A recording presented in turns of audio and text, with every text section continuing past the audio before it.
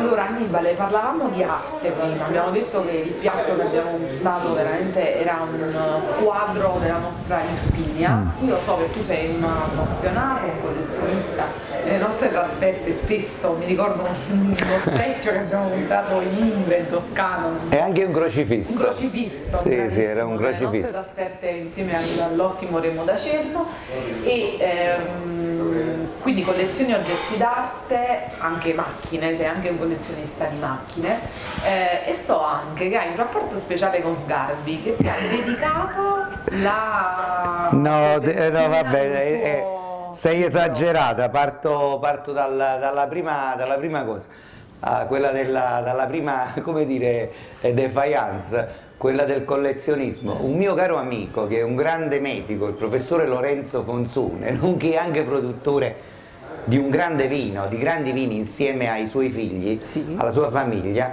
eh, che ha la mia stessa malattia, dice noi siamo raccoglitori seriali ed ha ragione perché cioè, il collezionismo è una forma patologica, però dico io, di di qualcosa per il bello, non a caso qualcuno diceva il bello ci salverà.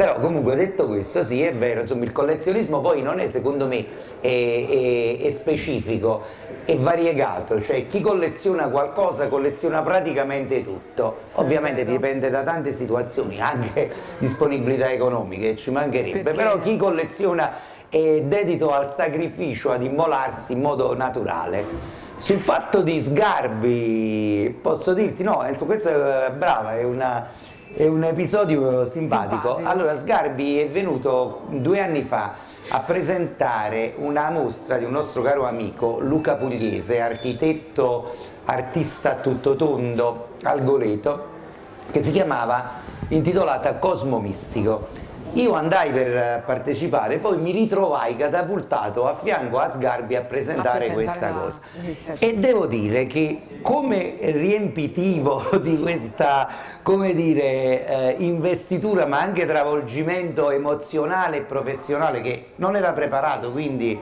eh, ehm, tra le cose che dissi buttai lì per caso di così perché eh, l'arte non è solo quello che ci propone in questo momento il Goleto con le sue emozioni, con le sue testimonianze di un medioevo praticamente Ancora attuale, vivo, brava, insomma chi non conosce il Goleto, anzi chi non lo conosce vi invito a visitarlo, e, e, quindi dissi anche perché non a caso a, a, qualche chilometro di distanza qui a Bagnoli ci sono esempi, c'è un esempio magnifico in una, in, nella chiesa madre di Bagnoli di una pala d'altare importantissima eh, firmata eh, da Marco Pino da Siena che è un grandissimo cinquecentista e la cosa finì lì.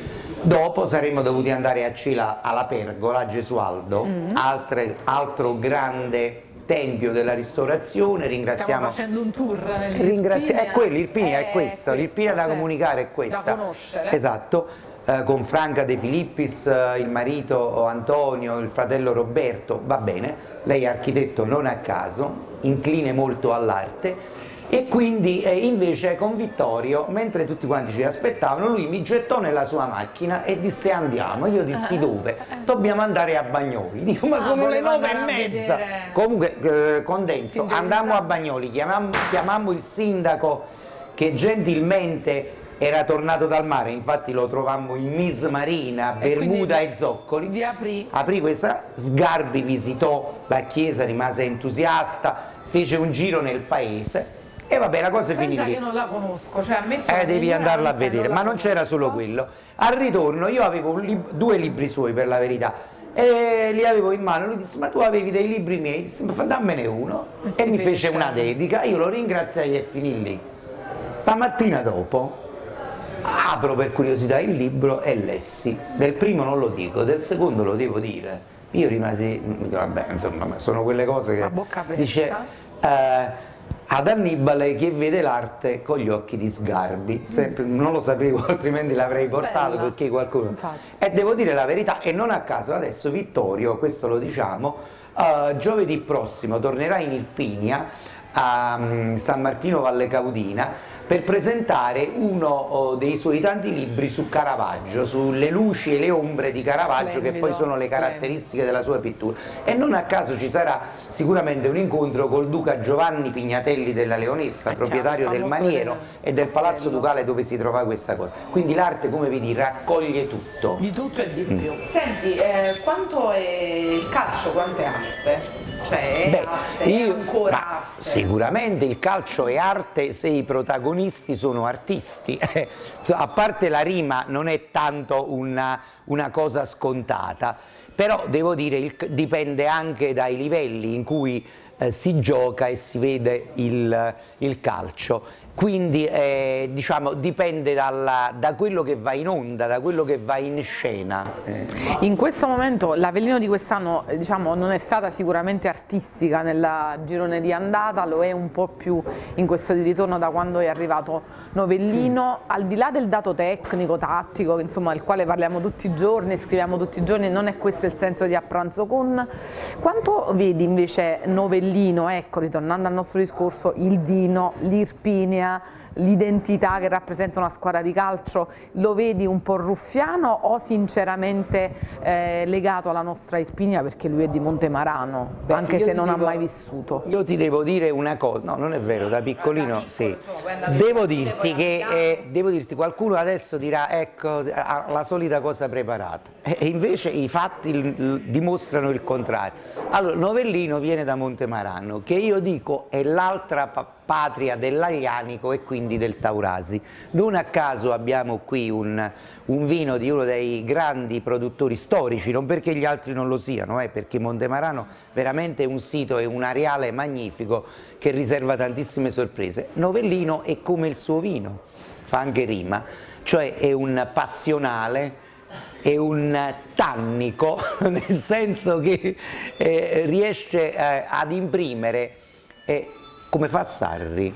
Eh, lui lo diceva eh, eh, qualche, qualche, tempo fa, ti ricordi, eh, in pre-conferenza, in, in, conferenza stampa pre-partita, dice quando sono arrivato e ho visto i miei giocatori con i musi lunghi e con le facce tristi, ho detto ma ragazzi, ma noi dobbiamo divertirci perché oltre che, oltre che giocare si gioca meglio se si è sereni. E quindi è questo praticamente è quello che c'è adesso e si intravede adesso nell'Avellino di Walter Taccone e, ed è lo specchio di quello che c'è nel vino do, da dove viene Walter Novellino. Scusami e dico questo che è bellissimo, non a caso ieri sera per una uh, traversia diciamo fortunata finimmo di nuovo qui ed ero con Maurizio Zito, l'architetto Maurizio Zito che con la moglie Icaro Mori ha, è il realizzatore dei feudi di San Gregorio, non è poco, e col fratello che è un medico, Bruno Zito, e mi raccontava Bruno Zito quando Walter Novellino, proprio qui dietro, a Via Pironti,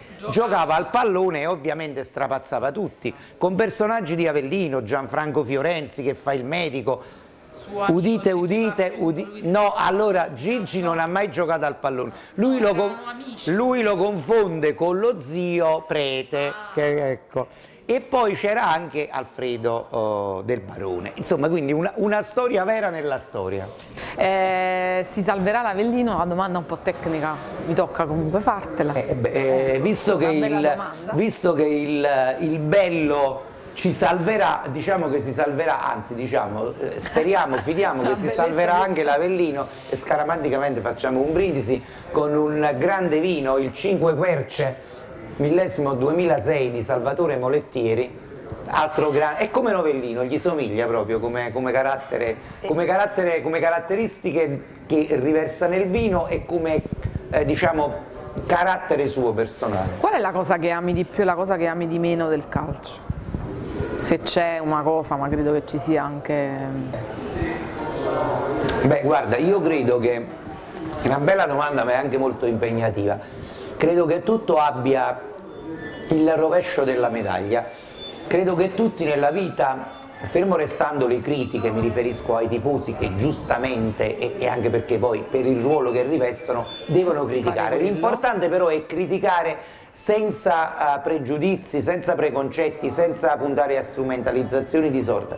Quindi dico, il bello deve essere quello che, che va applaudito e che deve cancellare il brutto che comunque, che comunque come il bene e il male ci sono, ci, ci sono, nella vita, insomma accompagnano anche la metafora del calcio.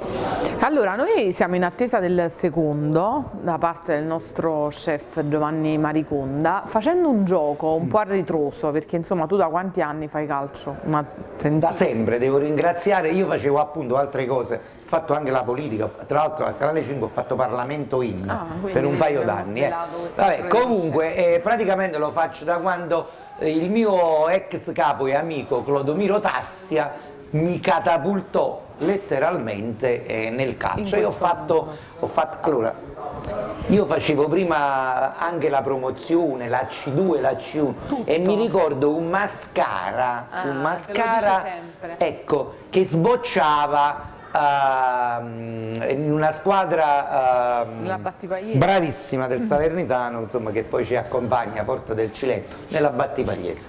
Eh, paragonando mascara a un vino perché poi questo gioco lo facciamo dopo con personaggi paragonando mascara a un vino uh, ad un vino irpino potrebbe essere una falanghina. Una falanghina, sì. frizzante. Sì, sì, un vino irpino, no, pardon, anche... è, è, a cavallo col Beneventano, però insomma ci sono, sono diciamo, esercitazioni molto interessanti di falanghina anche in Irpinia. Chef, prego, il secondo è arrivato, ce lo porta lo chef insieme, attenzione, grazie.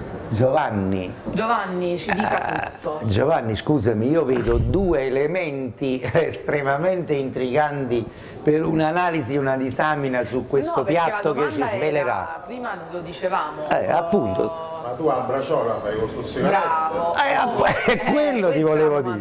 Tu l'hai fatto con entrambe? Con entrambi. con entrambi così cerchiamo un po' di svelare Senti, la... Eh, la classica braciola fatta naturalmente con, con muscolo e sono carni nostri, della nostra terra, qui in questo caso è una podolica e l'attenzione che ci abbiamo data una cottura lenta in modo che le carni con, eh, con tanto collagene cercano di diventare quanto più tenere. Questa non è una cosa che si, cosa è sempre fatta. Certo. Il famoso ragù a braciola si faceva la cosa è ornato. Esatto, quando pippiava doveva pippiare come il sugo, certo. Che hanno la bassa temperatura e ci abbiamo messo degli elementi che poi richiamano quelli della cioè, decorativo il prezzemolo che sta nella braciola, ehm, una cipolla all'aglianico un po' spiritata che servirà per pulire quando si mangerà la braciola che sta all'interno naturalmente del, del ragù e un pomodoro appassito che è il colore del carne. Non abbiamo tempo ma sarei molto tentato a proposito di temperature a chiederti che ne pensi della cucina di Ferran Adrià. Eh, della cucina di Ferrano Adrià dovrei sicuramente pensarne, pensarne bene. bene. Calcola, calcola libero che Ferrano Adrià i primi, i primi, anni di lavoro cucinava ogni giorno per 20 persone, perché quelli erano i suoi tavoli, non faceva un coperto, buttava e rifaceva tutto. Quindi... Io penso che ogni persona, qualunque sia la sfera a cui appartiene professionalmente, chi fa bene e chi fa con idee va sempre premiato. Naturalmente c'è bisogno che ci sia Ferrana Diaco con le sue sfere esatto. e ci, eh, sia, ci sia bisogno esatto. e Isa che facciamo a braciola. Esatto, diciamo che Ferrana Diaco... L'importante è che devono capire soprattutto i giovani sì. che fare una sferificazione di braciola e fare una braciola una... devono avere lo stesso cuore e la stessa identità di passione. Sono molto d'accordo. Ecco, questa, questa, è la ricetta, questa è la ricetta vincente. vincente per un piatto vincente. A chi, allora a, chi, a chi, fosse sfuggito parlavamo di cucina molecolare che, di cui Adriano era un grande interprete. Allora io ora voglio provare la braciola. Io, io e Isa andiamo di là e... Grazie, ci vediamo dopo. Grazie. Grazie. Allora andiamo avanti con la braciola e poi proseguiremo con la nostra discussione.